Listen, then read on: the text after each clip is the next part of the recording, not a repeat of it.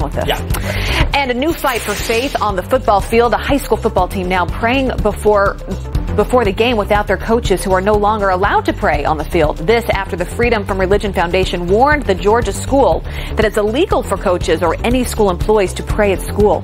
Parents say they see nothing wrong with that. I have my right to pray, and their spouse has their right to pray. So we'll stand behind Coach Small, and we'll stand behind our boys.